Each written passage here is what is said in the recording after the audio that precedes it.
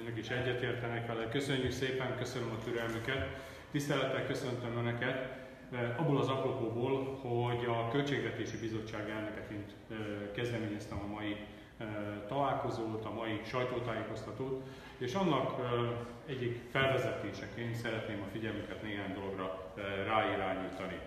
A bizottság mai ülésén tárgyalni fogja a Nemzeti Média és Hírközlési Hatóság 2017 évi egységes költségvetésének végrehajtásáról szóló beszámoló. Ez itt egy speciális beszámoló, mert kizárólag pénzügyekről lehet szólni, de a pénzügyektől, hiszen a tartalmi beszámolót azt egy másik bizottság fogja tárgyalni, ahol fideszes többséget tudnak ehhez biztosítani. Itt viszont azonban nehéz megkerülni azt, hogy néhány olyan pénzügyi kiadásról ne tartalmilag kezdjünk el foglalkozni.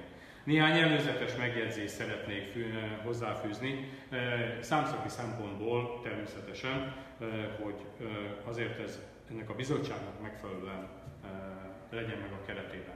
Természetesen nem azokról a számokról, hogy sikerült-e bármit összeadni, mert az Excel működik, már Microsoft termék, de egyébként akkor ettől függetlenül működik. Anna, azok a számok, amelyek összeadásra kerültek, az vélhetően, illetve tudjuk azt, hogy rendben van. Ellenben sajnálattal állapíthatom meg azt, hogy az egyes paragrafus szerint a média hatóság, aki 36 milliárd forintos bevétellel és 32,5 milliárd forintos kiadással gazdálkodott. Itt van egy majdnem 4 milliárd forintos támogatási lehetősége. Bevétele keletkezett, amit nem tudott elkölteni. Óhatatlanul adódik a kérdés. Mi az oka annak, hogy egyébként ez a szervezet nem talált olyan médiumot, aki támogatásra méltó lett volna. Azt gondolom, hogy sokan próbálkoztak ezzel, és nagyon sokat kellett volna talán keresni nekik, ahhoz, hogy találjanak ilyet. Én tudtam volna javaslatot mondani arra, hogy mi legyen az. Ellenben a hatóság az államháztartáson belül 2,3 milliárd forintos támogatást biztosított a médium, médiatudományi intézet működésének költségeire. Itt arra a sajátosságra sikerült viszont rábukkanni, hogy a Szólásszabadság káprázata címmel ez az intézet kiadott egy kötetet, ami egyébként a médiahatóság egyik tagjának, vezetőjének a kiadványa. Én érzek ebben olyan ellenmondást és összeférhetetlenséget, amire azt gondolom, hogy más megoldást kellett volna nekik találni.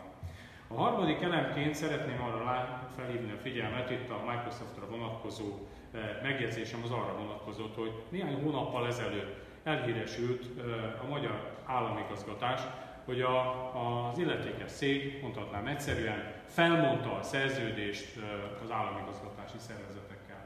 Szervezetek sora volt az, amelyről bebizonyosodott a vállalat belső vizsgálata szerint, hogy túlárazottan vásároltak a magyar állam oldaláról, és ebben ők nem voltak hajlandók közleműködni, ezért felmondták ezt a dolgot, és a médiahatóság is ebben a szerepben van.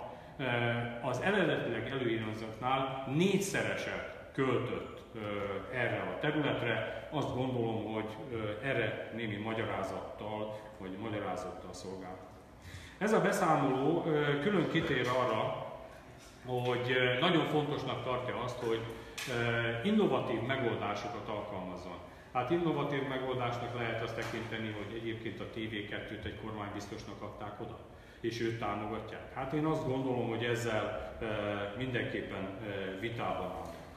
Továbbá sikerült ebben a beszámolóban egy olyan részletet találni, miszerint a közmunka programban támogatást kapott maga a hatóság.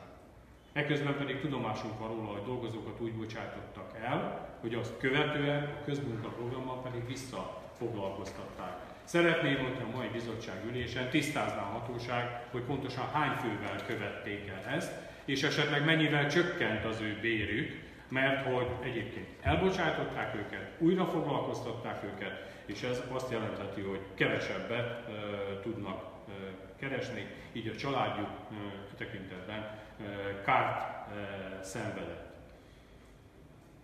Végezetül pedig arra szeretném felhívni a figyelmet, hogy ez a beszámoló tartalmazza az MTBA 94 milliárd forintos költségeit is. Ez azt jelenti, hogy 9400 forintnál többe került 2017-ben minden egyes magyar állampolgárnak, csecsevőtől az időskorúig, hogy egyébként azt a média propaganda hadjáratot végighallgassa, ami lehetetlenné tette azt egyébként, hogy ellenzéki szereplők, ellenzéki események is bekerülhessenek a közmédiának hívott 94 milliárd forintért feltartott rendszerben. Azt gondolom, hogy erről számot kell adnia a hatóság elnökének, hogy miért ilyen egyoldalúan közvetítenek. Ez lett volna az egyik fontos elem, amire szerettem volna a figyelmüket felhívni, de ezen kívül kell, hogy a mai bizottságon szó essen arról, hogy Magyarország elbukta az államadósággal szemben folytatott harcát. Az Orbán kormány e tekintetben úgy tűnik, hogy egyértelműen rosszul teljesített, hiszen az Európai Bizottság eljárást kezdeményezett néhány nappal ezelőtt, hogy a középtávú hiánycélnak nem felel meg Magyarország, és nem ezek a számok, amelyeket produkáltak, és a 2017 év után igen komoly veszély van, hogy 2018-ban is, mondhatnám egyszerűen, választási költségvetést adtak az országnak. Ennek az a következménye, hogy még ebben az évben vagy megszorításokra kerül sor, vagy valamilyen más megoldást kell a magyar kormánynak alkalmaznia és dönteni erről.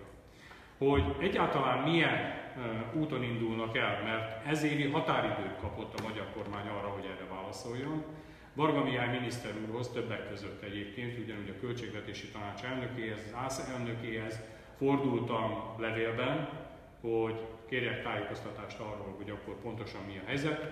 Ők ezt hogy ítélik meg, mikorra és milyen intézkedést terveznek, és ez a intézkedés sorozat például terhelhet-e olyan, vagy hozhat-e olyan lehetőséget, hogy a ma kedvezményes lakásépítési általános forgalmi adó 5%-os mértékét meg kell változtatni azért, hogy az állam többletbevételhez jusson, és ennek a költségvetési hiánynak a csökkentésére sor kerüljön.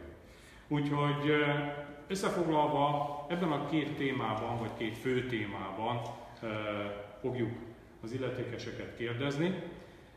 Természetesen ez utóbbi jóval nagyobb hatással van a magyar emberekre, minden családot érint önmagában például a benzináremelés, és még sok minden, amivel egyébként a kormány ezt orvosolni akarja, vagy próbálja. De erről akkor világosan kell beszélni, nem elhallgatni, hanem látni kell mindenkinek, hogy éppen mi történik vele. A Költségvetési Bizottság ennek egy alkalmas színhelye, hiszen a parlament ellenőrzi a kormány, mi ezt következetesen folytatni akarjuk, és éppen ezért a mai, ma már nem, vagy ebben a ciklusban már nem első költségvetési bizottsági ülésünkön ezt meg fogjuk tenni, és ebben a szellemben fogunk dolgozni. Köszönöm szépen a figyelmüket, amennyiben kérdésük van, természetesen állok